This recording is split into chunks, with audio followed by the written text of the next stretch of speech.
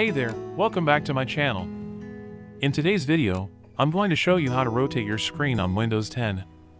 This can help you if you have accidentally rotated the screen or if you simply want to try something new. So, let's dive right in. First, click on the Start button located in the lower left corner of your screen. From there, click on the gear icon to access the Settings menu. Once you're in the Settings menu, click on System this will take you to a new page with a bunch of options related to your system settings. You want to click on the display option from the left drop-down menu. Now, you're on the display page, and you should see a section labeled Display Orientation. This is where you can rotate your screen. To do this, simply click on the drop-down menu labeled Orientation and select the screen orientation you want.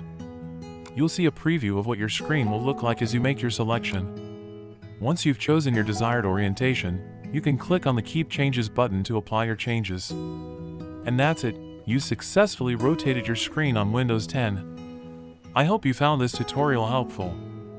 If you have any questions or comments, feel free to leave them down below. Thanks for watching, and don't forget to hit the like button and subscribe for more helpful tutorials like this one.